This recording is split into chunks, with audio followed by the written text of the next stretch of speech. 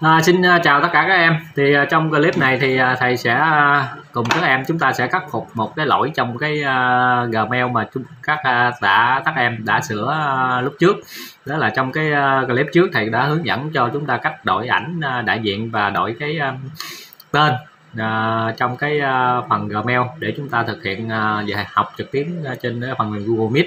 Nhưng mà đối với một số em lại đổi cái ngày tháng năm sinh uh, dưới 18 tuổi tức là cái ngày tháng ờ, cái năm sinh của mình dưới 18 tuổi, thì lúc đó Google ờ, sẽ cảnh báo là sẽ khóa cái tài khoản Gmail của mình trong vòng 14 ngày nếu mà chúng ta không thiết lập được cái tài khoản ờ, giám sát.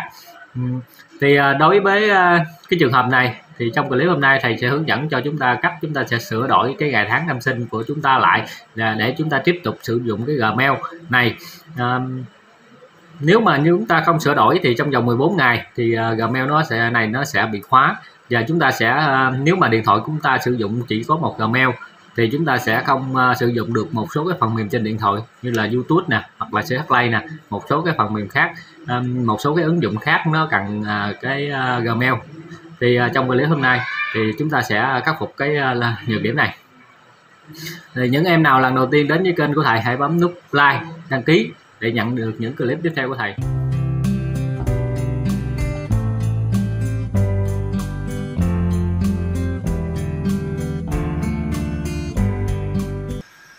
Rồi chúng ta thấy ha ở đây là cái à, Google á nó đã gửi một cái kinh à, tin nhắn là cảnh báo nè. Tài khoản à, Google của bạn sẽ ngừng trong hoạt động trong vòng 14 ngày nè. Đó. là lý do là bạn chưa đủ tuổi để sử dụng tài khoản Google không giám sát. À, thì bây giờ để thay đổi á, thì chúng ta sẽ thay đổi cái ngày tháng năm sinh lại ha nó vào ờ, bấm vào cái biểu tượng, cái hình nè. Chưa rồi. Rồi chúng ta bấm vào tài khoản Google ha. Rồi, tiếp tục chúng ta sẽ bấm vào đó là thông tin cá nhân. Và chúng ta sẽ chuyển đến cái mục đó là ngày tháng năm sinh.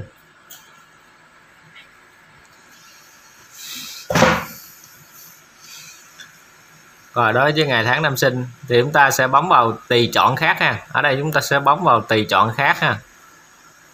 Rồi. À, ở đây nó có bốn mục để chọn đó là thiết lập uh, chức năng giám sát.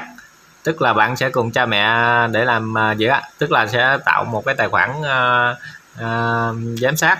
Được chưa? À, dưới sự giám sát tài khoản này sẽ hoạt động dưới sự giám sát của tài khoản Google của cha mẹ. Thứ hai là sửa ngày tháng năm sinh thứ ba là lưu nội dung trước khi xóa và thứ tư là xóa tài khoản à, ngay bây giờ. Tức là chúng ta sẽ bấm vào đây là chúng ta xóa cái tài khoản à, Gmail này luôn. Rồi chúng ta sẽ à, sửa ngày sinh ha. Chúng ta sẽ chọn vào cái ngày là sửa ngày sinh nè.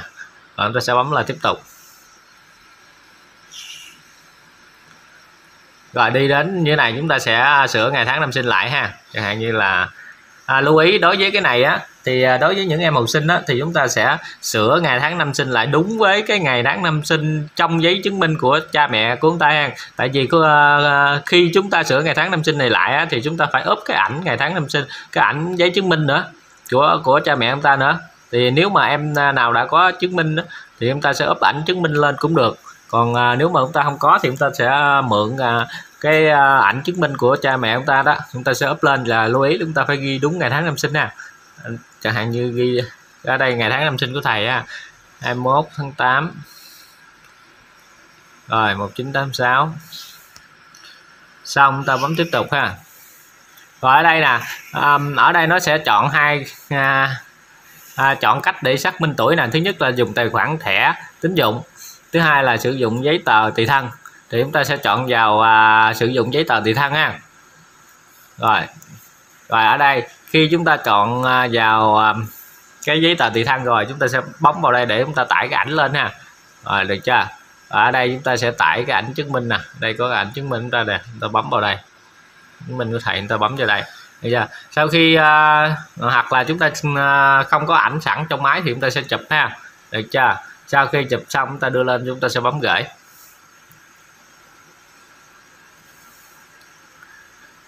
à, vậy là xong ha. Vậy là xong. Rồi chúng ta quan sát lại ha. Đối với cái thông tin này chúng ta đã sửa đổi thành công rồi nè. 21 tháng à, 8 năm 1986 nè. À đã sửa đổi thành công. Rồi chúng ta ra cái tài khoản chúng ta. Và chúng ta xem cái tài khoản chúng ta hiện tại bây giờ như nào ha. Rồi chúng ta vô cái thông tin tài khoản nè.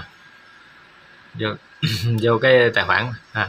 thì lúc này á, là chúng ta đã đã thay đổi thành công ờ, thành công cái ờ, ngày tháng năm sinh nha à, ờ, à, vậy thì à, đối với cái tài khoản Google này nếu mà chúng ta đổi ngày tháng năm sinh dưới 18 tuổi á thì nó sẽ khóa cái tài khoản trong vòng 14 ngày nếu mà chúng ta không sửa đổi ngày tháng năm sinh hoặc là chúng ta không thiết lập cái Gmail à, giám sát. À, thì à, nếu mà cái sau 14 ngày chúng ta không sửa đổi á, thì một số à, nếu mà điện thoại của chúng ta sử dụng một cái Gmail một á thì à, sẽ không à, à, chúng ta sẽ không sử dụng được các cái à, à, ứng dụng khác trong điện thoại chẳng hạn như là YouTube nè hoặc là um, dòng CH Play